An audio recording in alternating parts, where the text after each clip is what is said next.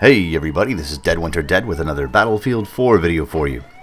Now this is kind of an addendum to the last video I just posted, the uh, the patch notes. I didn't want to make a long, st stupidly long 20 minute video, so I, I divided it up into two videos. This one's a little bit smaller. Again, this, this footage is just random footage, so you don't even have to pay attention to it. You can just shut off your screen and listen to my voice. February is going to be Player Appreciation Month. DICE is uh, going to be putting out some stuff for us, some, some swag.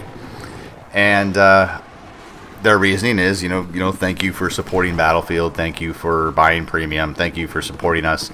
And I think it's kind of a kind of an outreach thing. It it may be something that they're doing to kind of quell the disappointment in how they've dealt with the release of this game I know that there are still pretty much pretty much every player who is not an Xbox player, myself included, is wondering where the hell is Second Assault, and I think this is one of those things that kind of just say, hey, uh, you know, look at this, you know, the kind of the carrot on the stick thing, you know, look at this juicy carrot. Don't worry about Second Assault. We'll get to it.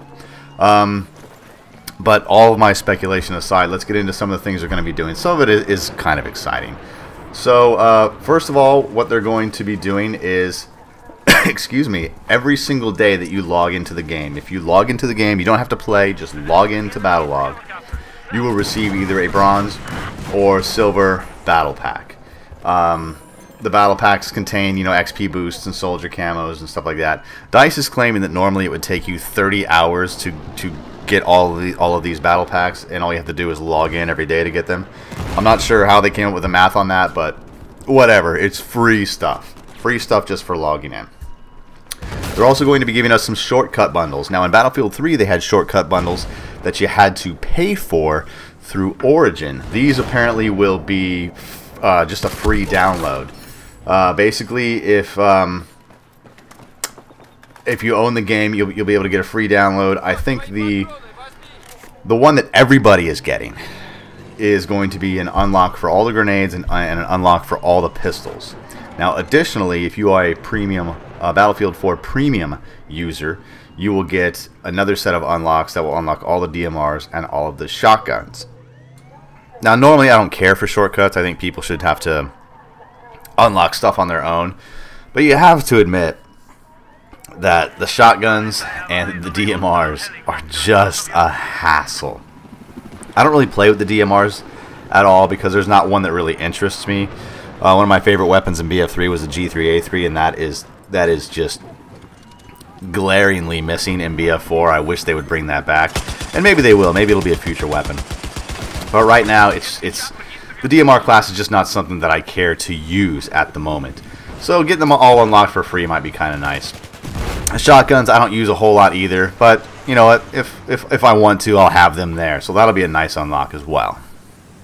But like I said, the DMRs and the shotgun um, unlock bundles will only be available to Battlefield 4 premium members. And I'm not sure exactly how it's going to work, if it's going to be an automatic download, like automatically applied in a patch, or if you'll have to log into Origin and, you know, just kind of uh, follow some some links to a free download or something like that. I, am I'm, I'm not sure how it's going to work, but I'm sure DICE will release those details when February starts. We will also get quite a few uh, double XP weekends, which is very, very typical. At this point, most of you who've been playing since the beginning of the game are, you know, are pretty much, you know, leveled up. So double XP doesn't really matter unless you're trying to get like, you know, your all-time high record or something for a score in a single match or something like that. But that is good for the newer players. There will also be there's also some news of community missions. These are similar to uh, your friend missions that you can kind of issue to each other. Uh, it says here on Battlelog it will probably be something like grab a set number of dog tags during a specific game mode or a specific duration of time and you'll get some sort of you know additional swag. Who knows? There's not too much detail on it. Uh, they also said that there's probably going to be some what they call DICE developer talks, which are increased uh, developer interaction and transparency on how we work uh, basically in, in, in the studio. So I'm not sure how these will actually play out, but uh, you know, Dice, the Dice devs will host several interviews and, and some kind of community interaction things so that we can just kind of get a feel for what's coming and, and you know the work that they do put into this. I know uh, a lot of people have been given Battlefield and, and Dice uh, specifically a lot of flack about way they the way they handled the uh, the the release and, and, and the rollout of all this, and you know about Second Assault and the net code and all this stuff. But you know, 99.9 of us are not software developers of of of any by any stretch of the imagination. I'm sure there are a few of us that play who really understand the ins and outs of what it goes in, of what it takes to uh, create a AAA title.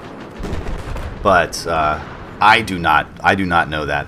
I can only imagine that it is a tremendous, a tremendous undertaking, and uh, you know to have all of these moving parts in a game, and to get them to work right consistently must just be just a ridiculous undertaking.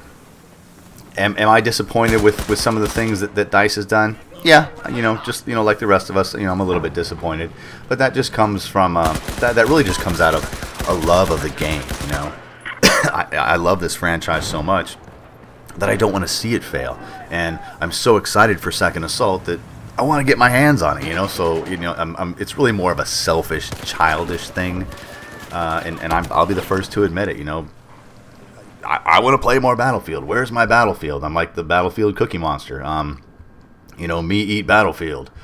So that's really where a lot of my frustration comes from. It has nothing to do with the fact that, you know, I hate this game and I and I hate the developers and I hate Dice and all this stuff. It, it, it's nothing like that at all. It's just, it's really an excitement. I'm, I'm pumped up for this title to to push on. I'm pumped up for the DLCs and I want to see this franchise succeed because I want to see more Battlefield in the future. So that's that. That's really where that where, where my stance is on that. Anyway, guys, remember to log in every single day. Um, just log in a Battlefield. You don't have to play. Log in, and you'll get either a silver or bronze battle pack for free just for logging in. And uh, you know, see if you can get in on some of these double XP weekends. Try your hand at some of the community missions, as well as uh, you know, if you're interested in how things go down behind the scenes, get involved in some of these Dice developer talks. Anyway, guys, that is my brief rundown on February Player Appreciation Month. I hope you enjoyed this video. My name is Dead Winter Dead. Thanks for watching.